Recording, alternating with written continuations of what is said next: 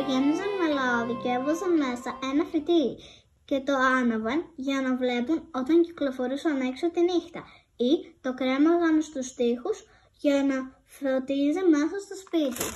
Το σίδερο αυτό ανήκει στην οικογένεια της προγιαγιάς μου. Είναι πάνω από 100 ετών. Στα παλιά χρόνια το γέμιζαν με κάρβουνα, κάρβουνα από το τζάκι. Όταν ζεσθενόταν το μεταλλό, σιδέρωναν τα ρούχα. Είναι πολύ βαρύ.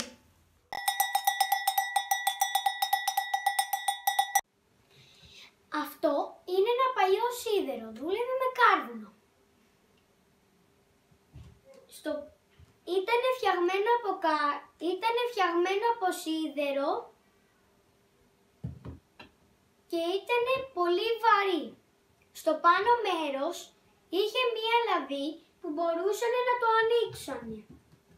Βάζανε μέσα το πυρακτωμένο κάρβουνο και το κλείνανε. Τέλος, έμεινε, έμεινε με την ονομασία Βαποράκι. Γιατί στο μπροστινό του μέρος είναι σαν μία πλώρη καραβιού.